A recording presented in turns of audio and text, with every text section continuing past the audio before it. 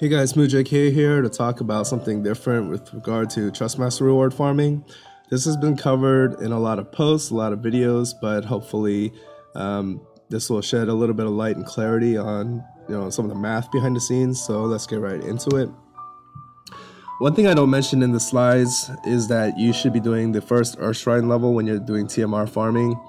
It's the two round one. It's a lot faster than the three round one, obviously, and that's the one you want to go with. So all of the calculations are going to de- uh, depend on doing that one energy first level of Earth Shrine. Um, well, I guess anything that's one energy really is what was factored in, but I recommend the first level. So the basics for TMR farming that you know we need to know before we go any further is that each battle you go into has a 10% chance for your character in your party, for any character in your party to gain 0.1% TM.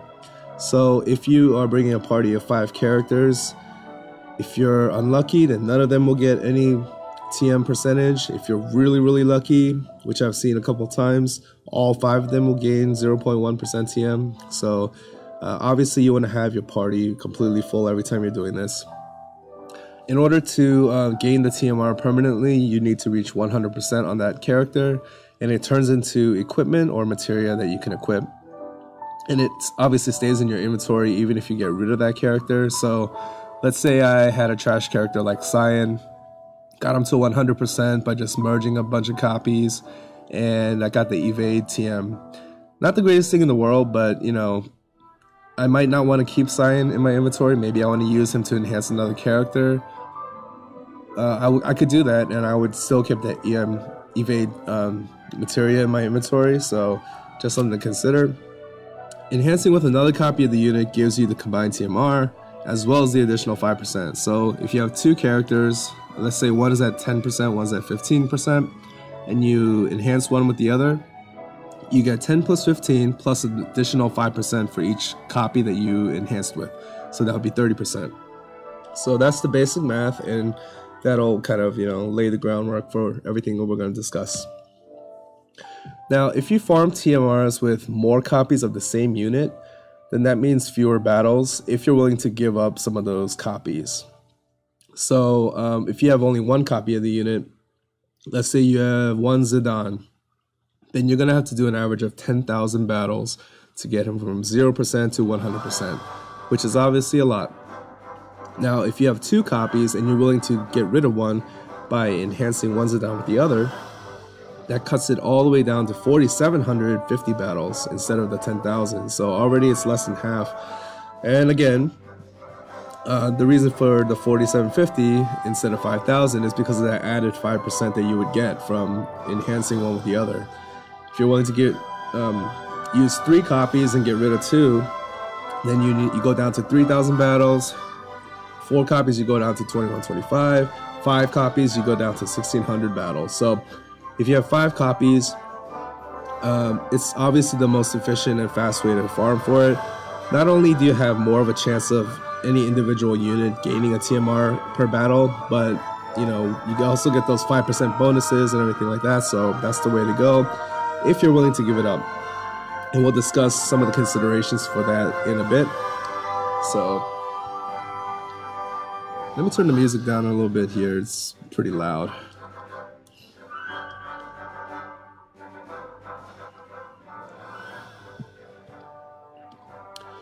Okay.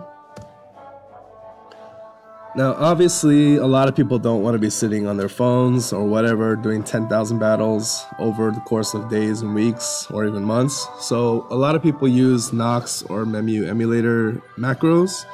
Uh, what a macro is, is that, well, the way to set it up is that you can even record your own clicks and have it in the right places to, you know, click in the places that absolutely need to be done, do it quickly, do it efficiently so that there's fewer clicks and so forth.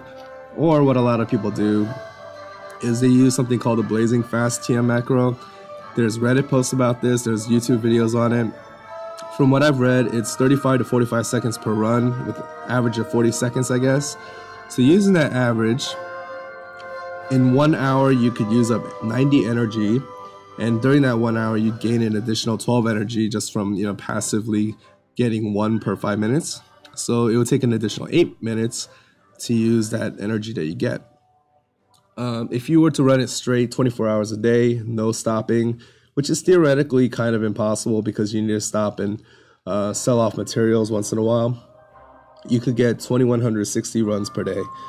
If you were to run it all the way straight and you're trying to get a 0% TMR to 100%, it would take you 4.6 days, uh, 111 hours. Realistically, more like five days because you need to stop, dump some of the materials in your inventory, so forth, deal with crashing. So you're looking at a minimum of five days to get it from zero to 100. Again, this is assuming no trust moogles and things like that. And that would equate to about 98 lapis refreshes if you had a 90 energy character.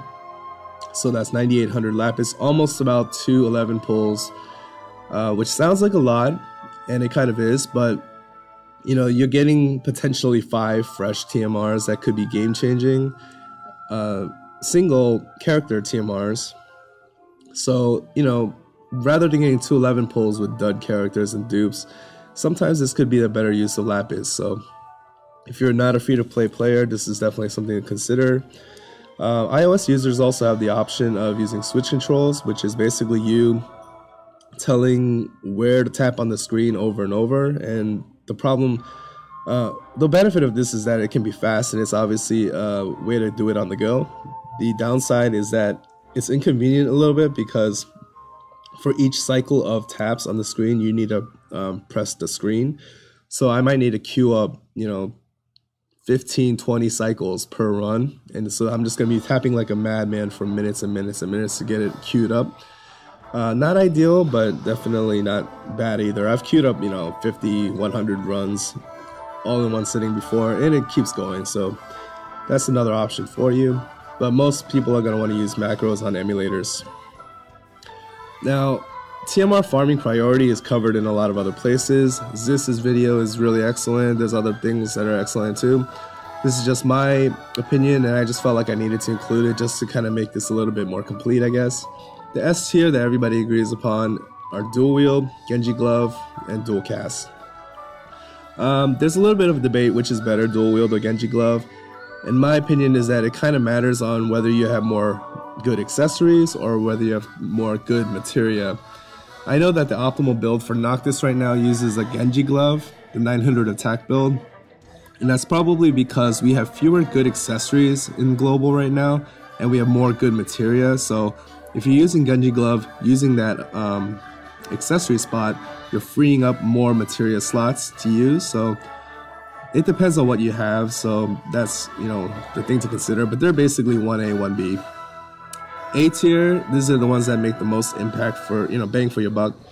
Blade Mastery for um, that you get with Chizuru that increases your attack by 50% if you're equipping a katana. Now, Sakura Fubuki on its own is not like the absolute best weapon in the game, but I put it A tier because if you're going to be using Blade Mastery, the only good katana really in game right now is Sakura Fubuki, so you're probably going to be using the two together, so that's why I put it A tier. Power Creation, really excellent. Uh, Excalibur and Deathbringer, both really powerful swords. I would say Excalibur has a little bit of an edge right now because while Cecil resists light damage, so it's annoying in arena, uh, this is going to be a really excellent sword once Orlandeau comes out and he's able to decrease light resistance and it just does more damage with Excalibur. So that's why it edges out Deathbringer in my opinion, but both are really good. Deathbringer is better in arena if you're not fa- if you're facing Cecil. Brave suit because we have so few good armors in the game right now. Everybody is still using black belt geese and you know which we got um, ages ago. So black brave suit is a really good armor, good defense, good attack stats, and everything like that. So that's why it's up here. Also, Ribbon, Goddess's Protection, Discernment, because status ailments are really annoying. You could have the most powerful OP character in the game, but if he's paralyzed or stoned, or blinded or whatever, you know, it's going to be useless. So, like in the current event, you want to have resistance to status ailments at that final boss because he can completely uh, take you out of the fight. So, yeah, that's why it's an A tier for me.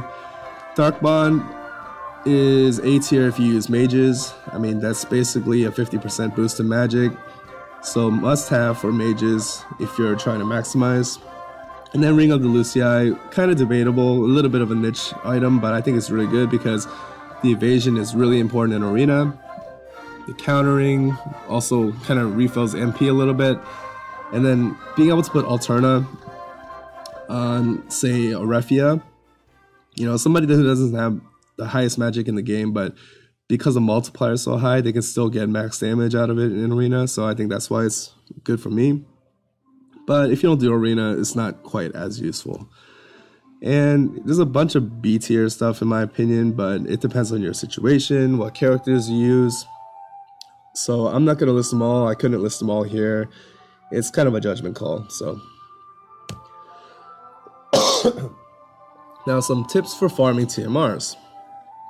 I kind of alluded to this earlier, but just because you have multiple copies or even five copies or more of a unit doesn't mean that you always want to merge them all together just to get it faster. If the unit is fairly common um, and you only need one copy, then you can feel free to use as many copies as you obtain and enhance and combine all of them into one. So, an example of this would be like if you had, um, I don't know, a Ludmille or something else that you only needed one copy for. You could use all five in your party and then enhance one and fuse them all together into one and basically come up with one dual cast and you could be happy with that potentially. I would probably recommend two just in case, like for your healer and your tank. But, you know, just for example, uh, I'm just using that as an example. If the unit is somewhat uncommon, you might want to try to limit yourself to combining two to three copies into one at most. And it might take a little bit longer, but it'll be worth it so that you can have more copies of the TMR. Again, using Ludmille as an example, let's say you had five of them rather than you know enhancing one with four copies you know and turning them all into one to get that tmr really fast you might want to consider you know using three Ludmilles and two Ludmilles to have two separate copies of dual cast because you know i mean it's kind of common sense right so that's something to consider and if the unit is rare or base five star you probably don't want to combine it in any situation um, getting that TMR faster is not going to be worth losing the unit and losing the chance to get more of that TM. So let's say I, you know I have two Noctises. I'm not going to combine them and lose a Noctis just so I can get one ring of the Lucii faster. When I could keep two Noctises in my party and farm up two ring of the Lucii, it'll take a lot longer, but in the long run, it's going to be better that way. So that's something to consider as well. Um, and one conclusion that I draw from this is that you should probably using your trust moogles on the single unit TMR farming, like the Noctises or Lunith or Gilgamesh is a really good one actually. If you have one Gilgamesh and you're trying to get his Genji glove, he would be a prime candidate for trust moogles because um, for single unit TMR farming, every 10% trust moogle that you're using, you're saving yourself 1,000 runs. Now, if you use a Trust moogle on something you're farming with two units, you're saving yourself 475 runs or, you know, 300 runs or whatever. So the use the the usefulness of a Trust moogle goes way up the fewer units that you are using to farm that TMR. So that's why I recommend doing it on single units. I mean, in reality, I probably used Trust Moogles on Zidanes, even though I was using two or three, because I really wanted that dual wield really fast. Probably not the best thing to do, but um, that one's understandable. But anyway, you have to use your judgment on that. And I think that's all the tips that I had, but hope you found some of the slides and some of the information useful. I just thought it was interesting to see the concrete numbers, at least in my head. So hope you enjoyed, and I'll see you guys next time.